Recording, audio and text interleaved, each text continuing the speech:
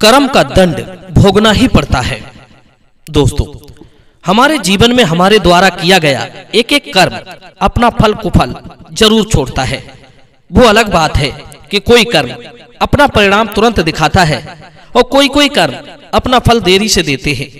परंतु ये सत्य है कि हमें अपने कर्म का हिसाब देना ही पड़ता है। दोस्तों, ये कहानी है एक सौतेले भाई की। इस कहानी से हमें पता चलेगा कि हम चाहे कितने ही ऊँचे उठ जाएँ, लेकिन हमें ज़मीन से हमेशा जुड़कर रहना चाहिए। जो लोग ऊँचे उठने के बाद अपनी औकात भूल जाते हैं ज़मीन से अपना रिश्ता तोड़ देते हैं वे जब गिरते हैं तो फिर ज़मीन से और भी ज़्यादा नीचे पहुँच जाते हैं। इस माया को कभी अपना समझने की भूल मत करना। ये तो चंचल है आज तुम्हारे पास है कल आपको ठुकरा भी सकती है और किसी और के पास चली जाएगी। अपना तो वही होता है जो बिना स्वार्थ आपका हित चाहता हो और मुश्किल वक्त में वही आपके काम आता है। एक बार को दुनिया आपको ठुकरा भी दे, लेकिन आपका अपना आपको कभी नहीं ठुकराएगा। मित्रों, किसी गाँव में एक जगन्नाथ नाम का व्यक्ति रहता था। जगन्नाथ का एक प्रभाकर नाम का बेटा था। प्रभाकर की उम्र लगभग सात आठ वर्ष की रही होगी। तब बीमारी के चलते उसकी माँ का देहांत हो गया। पत्नी के जाने के बाद जगन्नाथ बिल्कुल अकेले पड़ चुके थे। उधर, खेत के साथ साथ, अपने बेटे की भी देखरेख उन्हें अकेले ही करनी पड़ती थी। ऐसे कब तक चलता? कब तक वे इतनी जिम्मेदारियों का बोझ अकेले वे अपने सर पर ढोते रहते? सगे संबंधियों के और रिश्तेदारों के कहने पर उन्होंने अपना दूसरा विवाह कर लिया। सोचा था, प्रभाकर को जब माँ मिल जाएगी तो उसकी देखरेख अच्छे से हो सकेगी। उनकी दूसरी पत्नी मालती, स्वभाव की बहुत अच्छी महिला थी। वे प्रभाकर के साथ कभी भेदभाव नहीं करती थी। अपने सगे बेटे की तरह उससे प्रेम करती थी। धीरे धीरे समय गुजरता गया। दो वर्ष बाद मालती ने एक पुत्र को जन्म दिया। उसका नाम रखा चेतन। मालती जी चेतन और प्रभाकर को बहुत स्नेह से रखती थी। धीरे धीरे चेतन भी बड़ा होने लगा। चेतन अभी पाँच वर्ष का ही हुआ था कि एक सड़क दुर्घटना में उनके पिता की मृत्यु हो गई। प्रभाकर अब काफ़ी समझदार हो चुका था। पिता के गुजरने के बाद घर की सारी जिम्मेदारियों का बोझ अब प्रभाकर के कंधों पर आ गया था। वो अभी पूरी तरह से प्रौढ़ नहीं हुआ था। फिर भी अपनी जिम्मेदारियों को भली भांत संभाल रहा था। अपनी माँ और छोटे भाई की देखरेख अच्छे से कर रहा था। अपनी माँ और छोटे भाई की देखरेख अच्छे से कर सके। इसलिए प्रभाकर ने अपनी पढ़ाई बीच में ही छोड़ दी और खेती बाड़ी मेहनत मजदूरी करके उनका पेट पालने लगा। प्रभाकर ने चेतन को एक बहुत ही अच्छे स्कूल में पढ़ने को बैठा दिया। प्रभाकर दिन रात मेहनत मजदूरी करके चेतन की सारी इच्छाएँ पूरी करता था। एक पिता की तरह वो अपनी जिम्मेदारियों को निभा रहा था। चेतन को किसी चीज़ की कमी महसूस नहीं होने देता था। चेतन को कभी लगा ही नहीं कि उसके पिता मर चुके हैं। प्रभाकर की यह हार्दिक इच्छा थी कि वो अपने भाई को पढ़ा लिखा कर एक कामयाब इंसान बना दी। उसकी कहीं अच्छी जगह नौकरी लग जाए। यही सपने लेकर वो अपने भाई को पढ़ाई पूरी कराता गया। भाई को सफल बनाने के लिए प्रभाकर ने अपने सारे सपनों को मिटा दिया। मालती जी, जब भी प्रभाकर से शादी के लिए बोलती थी तो प्रभाकर कह देता, माँ, पहले मैं छोटे भाई चेतन को एक कामयाब इंसान बना दू। जब वो अपने पैरों पर खड़ा हो जाएगा तो मेरी चिंता खत्म हो जाएगी। उसके बाद मैं अपनी शादी के बारे में सोचूँगा। अगर मैंने अभी शादी कर ली तो मेरे ऊपर पत्नी की ज़िम्मेदारी बढ़ जाएगी। फिर मैं चेतन को पूरा सहयोग नहीं दे पाऊँगा। जब मेरे भाई की नौकरी लग जाएगी तो वो अपनी गृहस्थी का खर्च स्वयं उठा लेगा और मेरा भी भार कुछ हल्का हो जाएगा। तब मैं अपनी भी शादी कर लूँगा। अपने छोटे भाई के प्रति प्रभाकर का ऐसा प्यार देखकर मालती बहुत खुश होती थी। खुशी में कभी कभी उनकी आँखें भर आती थी। सोचती थी, कहीं ऐसा ना हो कि छोटे भाई की खुशियों के चक्कर में प्रभाकर खाली हाथ रह जाए। प्रभाकर अपनी माँ को समझा देता था कि माँ, तू चिंता मत कर। तू ये कहाँ कहाँ की बातें सोचती रहती है। एक बार चेतन की नौकरी लगने दे, फिर सब ठीक हो जाएगा। इस प्रकार समय गुजरता गया। चेतन की प्रारंभिक शिक्षा पूरी हुई। उसे अपनी पढ़ाई पूरी करने के लिए शहर में जाना था। आगे की पढ़ाई का खर्च मेहनत मजदूरी से तो नहीं चल सकता था। इसलिए प्रभाकर ने अपना घर और खेत एक साहूकार के यहाँ गिरवी रख दिया। उन्हीं पैसों से उसने अपने भाई को शहर के एक बड़े कॉलेज में पढ़ने को भेज दिया। चेतन एक हॉस्टल में रहकर अपनी पढ़ाई करने लगा। प्रभाकर मजदूरी करके भाई के खर्च के लिए हर महीने पैसे पहुँचा दिया करता था। समय के साथ साथ जब चेतन की शिक्षा पूरी हुई तो उसे एक बड़ी कंपनी में नौकरी मिल गई। वो कंपनी में मैनेजर के पद पर काम करने लगा। प्रभाकर को जब ये खबर मिली कि छोटा भाई चेतन एक कंपनी का मैनेजर बन गया है तो उसे बड़ी खुशी हुई। आखिर खुशी क्यों ना हो?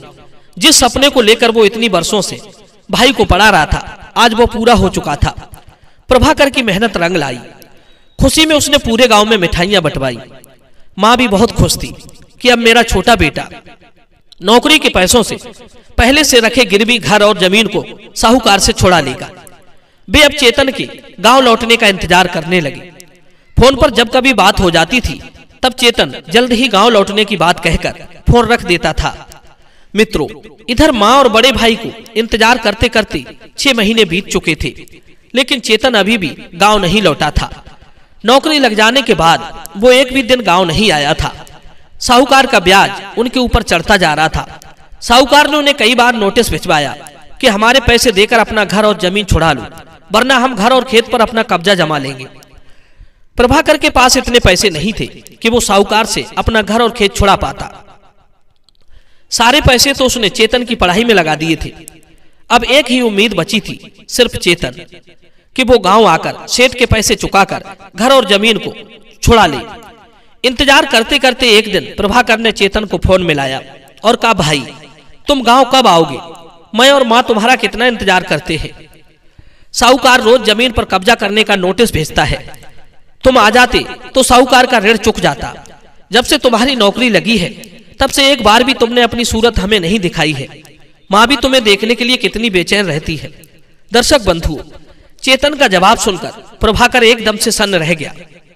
उसका मुँह खुला की खुला रह गया। एक भी शब्द उसके मुँह से नहीं निकला। दरअसल चेतन ने उससे कहा था कि, भैया, तुम बार बार फ़ोन मत किया करो। मेरे पास तुमसे बात करने का समय नहीं है। मेरी शादी इस कंपनी के मालिक की बेटी से हो गई है। मैंने उसे तुम्हारे और माँ के बारे में कुछ नहीं बताया है। क्योंकि अगर मैं उनसे कहूँगा कि मेरी माँ और भाई गाँव में रहते हैं तो वे समझेंगे कि मैं बहुत गरीब परिवार से आता हूँ। इससे मेरी इमेज पर बहुत बड़ा असर पड़ेगा। आज से तुम्हारा मेरा संबंध खत्म हो गया। और हाँ ये बार बार मुझे फ़ोन मत किया करो। मित्रों, चेतन की बातें प्रभाकर को ऐसे लगी जैसे किसी ने अचानक से खंजर घोप दिया हो। कहने लगा, चेतन, ये तुम क्या कह रहे हो? तुम्हें कामयाब बनाने के लिए मैंने कितनी मेहनत की है? अपने सारे सपनों को दबाकर तुम्हारी कामयाबी को ही मैंने सपना बनाया था। और तुमने ये बात कहते हुए एक क्षण का भी समय नहीं लगाया। चेतन बोला, अरे भाई, तुमने मेरे लिए जो किया है, वो कुछ नया नहीं है। सभी बाप भाई करते हैं। रही नौकरी की बात तो उसमें तुम्हारा कोई योगदान नहीं है। नौकरी तो मुझे मेरे टैलेंट के दम पर मिली है। खबरदार जो आज के बाद तुमने मुझे फ़ोन किया तो मैं अपनी ज़िंदगी से खुश हूँ और मेरे जीवन में दखल देने की कोशिश मत करना। मैं तुम्हारा कोई भाई भाई नहीं हूँ। तुम मेरे सौतेले भाई हो और मेरी कमाई की आस छोड़कर अपनी खुद की कमाई के बारे में सोचो। मैं अपनी कमाई की एक फूटी कौड़ी भी आपको नहीं दूँगा। इतना कहकर चेतन ने फ़ोन काट दिया। फ़ोन कटते ही प्रभाकर की आँखें आंसुओं से छल छला उठी। सोचने लगा, जिस भाई के लिए मैंने अपनी शादी तक नहीं की, उसी भाई ने एक झटके में संबंध खत्म कर लिया। मुझे चेतन से ऐसी उम्मीद नहीं थी। मित्रों, जब चेतन की सारी बातें प्रभाकर ने अपनी माँ को बताई तो उसे बहुत भारी सदमा लगा। सोचने लगी कि प्रभाकर तो मेरा सौतेला बेटा है। अगर ये कुछ कहता तो ठीक भी था, पर मेरे सगे बेटे ने ही मुझे भुला दिया। बेटे का ये व्यवहार माँ से बर्दाश्त नहीं हुआ। वो बेचारी बिना मौत ही चल बसी। उसके मरने पर भी चेतन नहीं आया। मानो उसने सब कुछ भुला ही दिया हो। माँ के जाने के बाद प्रभाकर की सारी उम्मीदें नष्ट हो चुकी थी। साहूकार के पैसे ना लौटा पाने की वजह से घर और ज़मीन पर साहूकार ने अपना कब्जा कर लिया था। प्रभाकर को घर छोड़कर जाना पड़ा। उनके रहने का अब कहीं और ठिकाना नहीं था। इसलिए वो एक अनाथ आश्रम में आकर रहने लगे। वे पूरे दिन अकेले अकेले से रहते थे। न किसी से बोलना अच्छा लगता था, न किसी के पास बैठना। मानो उनका ईश्वर पर से विश्वास ही उठ गया हो। भाई के दुर्व्यवहार ने उन्हें अंदर से झकझोर कर रख दिया था, पर कहते हैं, भगवान के यहाँ देर है, अंधेर नहीं। उस आश्रम का जो मैनेजर था, वो एक नौजवान युवक था। वो सारे दिन प्रभाकर की ओर देखता रहता था, क्योंकि प्रभाकर पूरे दिन अकेले बैठकर विचारों में खोए रहते थे। मैनेजर का नाम था रोहित। एक दिन रोहित प्रभाकर के पास आया और उनसे उनकी पूरी कहानी सुनी। तो उसे भी बड़ा दुख हुआ। रोहित ने कहा, अंकल, मैं भी बिना माँ बाप का हूँ। क्या आज से मैं आपको पिताजी कहकर बुला सकता हूँ? मैं चाहता हूँ कि आज से आप मेरे पिताजी बनकर मेरे घर पर रहें। चलो, मेरे घर चलो। इतना कहकर रोहित प्रभाकर को आश्रम से अपने घर बुला लाता है और पिता की तरह उनका खूब ख्याल रखने लगा। प्रभाकर कहने लगे, बेटा, तुम बहुत महान हो। आजकल तो बेटे माँ बाप को बोझ समझकर वृद्धा आश्रम छोड़ जाते हैं। और तुम एक हो, जो मुझे पिताजी बनाकर अनाथ आश्रम से उठाकर घर में ले आए। तुम जैसे बेटों की वजह से ही आज भी पृथ्वी पर मर्यादा जीवित है। मुझे तुम पर बहुत गर्व है। तब रोहित बोला, पिताजी, जिन बेटों के सिर पर माँ बाप का हाथ नहीं होता है, वे बहुत अभागे होते हैं। मैंने बचपन में ही अपने माँ बाप को खो दिया था। मैंने कभी माँ बाप का प्यार नहीं देखा, लेकिन आपको पिता के रूप में पाकर मुझे संसार की सबसे बड़ी दौलत मिल गई है। प्रभाकर उसी दिन से रोहित के घर में रहने लगे। सोचने लगे, हे ईश्वर, तुम्हारी लीला भी बड़ी विचित्र है।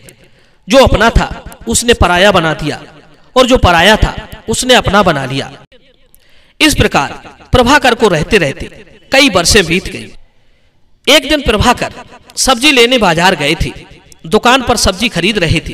तभी पीछे से एक भिखारी ने उनसे कहा, हे भाई मैंने चार दिन से कुछ नहीं खाया है। भगवान के लिए मुझे कुछ पैसे दे दो।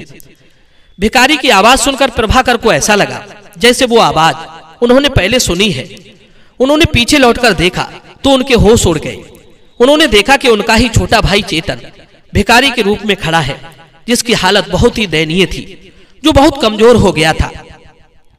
चेतन को देखकर प्रभाकर भी बड़े अचमंजस में पड़ गए और प्रभाकर को देखकर वो भिकारी भी एकदम से सकपका गया। सामने अपने बड़े भाई प्रभाकर को देखकर उसका सर नीचे झुक गया। उसकी आँखों से आंसुओं का सैलाब चल पड़ा। उसके मुँह से कोई शब्द नहीं निकला। वो अपने भाई को एकटक देखता ही जा रहा था। प्रभाकर ने पूछा, चेतन, तुम्हारी ये हालत कैसे हुई? चेतन ने कहा, भैया, ये सब मेरे कर्मों का फल है। मैंने आपके साथ बहुत बुरा किया।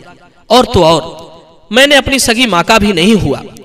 उसी पाप की मुझे ईश्वर ने सजा दी है। इतना कहते कहते चेतन बेहोश हो जाता है। भाई को बेहोश देखकर प्रभाकर घबरा जाते हैं। उन्होंने तुरंत फ़ोन करके अपने बेटे रोहित को बुलाया और चेतन को फ़ौरन अस्पताल में भर्ती करा दिया। डॉक्टर ने कहा, घबराने की कोई बात नहीं है। कई दिन से इसने खाना नहीं खाया है। खाना ना मिलने की वजह से इसकी हालत ठीक नहीं है। लेकिन चिंता की कोई बात नहीं है। जल्द ही ये ठीक हो जाएगा। रोहित ने कहा, पिताजी, आप तब तक घर जाइए, इनके पास मैं बना रहूँगा। होश आने पर मैं आपको बुला लूँगा। प्रभाकर ने कहा, नहीं बेटी, इनके होश आने तक मैं यहीं रहूँगा। बेहोशी की हालत में जो पड़ा है, वो मेरा छोटा भाई चेतन है। ये सुनकर रोहित भी चौंक जाता है। थोड़ी देर बाद जब चेतन को होश आया तो उसने अपने भाई को पास में बुलाया और उनके चरणों में लिपट कर रोने लगा। वो बार बार उनसे अपने किए की क्षमा मांगने लगा। प्रभाकर ने पूछा, भाई, आप तो बहुत बड़े आदमी बन गए थे, फिर आपकी ये हालत कैसे हो गई? तब चेतन ने बताया कि, हे भाई, मेरी बहू और बेटों ने सारी दौलत अपने नाम करा ली और मुझे धक्का मारकर घर से निकाल दिया। ये मेरे कर्मों की सजा है, जो आज मैं दर दर भीख माँगता फिर रहा हूँ। सच है, ईश्वर की लाठी जब पड़ती है तो किसी को सुनाई नहीं देती, लेकिन पीड़ा बहुत पहुंचाती है। प्रभाकर ने उसे धैर्य बंधाया और कहा, भाई, तुम चिंता ना करो। तुम्हारे बेटे ने तुम्हें घर से निकाल दिया, लेकिन मेरा बेटा तुम्हें अपना लेगा। इतना कहकर उन्होंने अपने भाई को सीने से लगा लिया। रोहित खड़ा खड़ा देख रहा था, उसकी भी आँखें नम हो गई। रोहित अपने पिता के भाई चेतन को अपने घर बुलाकर ले गया और अपने सगे चाचा की तरह उनकी भी देखभाल करने लगा। कर्म का दंड ज़रूर मिलता है, भले ही उसमें देर कितनी ही हो जाए। दोस्तों, ये कहानी हमें ये बताती है कि हमें किसी के साथ धोखा नहीं करना चाहिए। दौलत से आप चाहे कितने ही बढ़ जाओ, पर ज़मीन से हमेशा जुड़कर रहना चाहिए। जो दौलत के गुमान में अपनों को बीच मझधार में छोड़ देते हैं, उन्हें भी उनके अपने लात मारकर घर से निकाल देते हैं। यही ईश्वर का न्याय है, जैसा करोगे, वैसा भरोगे। उम्मीद करता हूँ दोस्तों, ये कहानी ज़रूर पसंद आई होगी। तो चलिए अपनी कीमती राय कमेंट में दीजिए। और मिलते हैं आपसे एक और अगली वीडियो में नई चर्चा के साथ। आप सभी का बहुत बहुत धन्यवाद। जय श्री कृष्ण।